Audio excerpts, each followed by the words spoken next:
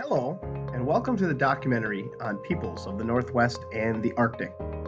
In this documentary, you will learn how historic people adapted to the environment they lived in. Sit back, relax, and enjoy. The Northwest Coast is a region of plenty because it gets a lot of rain, so the forests are thick, and there are a lot of animals and fish to hunt. The people of the Northwest did not farm because they had plenty of salmon to eat as well as whales from the ocean. The northwest coast had a lot of trees, so wood was plentiful. Wood was used to build longhouses for large extended families, which they called clans. All of them lived in the longhouse.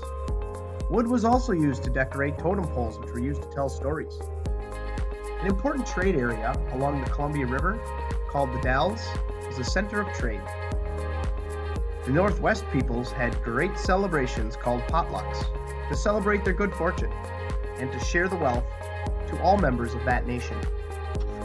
Another group of peoples lived far to the north in the Arctic and the North Pole, where it was mostly frozen.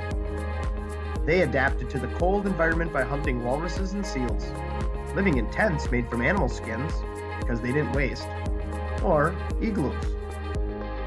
Also, extended families stuck together in what is now Alaska and northern Canada, peoples that lived there hunted in the woods, but the long winters made farming impossible.